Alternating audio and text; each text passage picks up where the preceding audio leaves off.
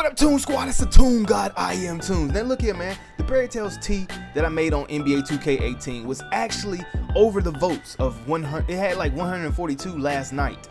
And when I woke up this morning and came into this shit, it wasn't even in here. I had to recreate it and resubmit it. I don't know what 2K is doing, but they F me over. So it has one vote right now.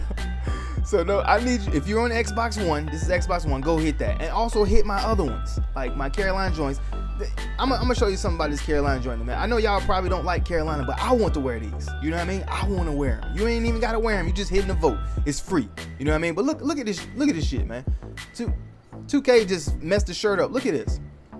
It's like the shirt ain't been selected yet. Like you ain't unlocked this shirt yet. But yo, look, I don't want to hold y'all. I'm out of here, man get you, boy.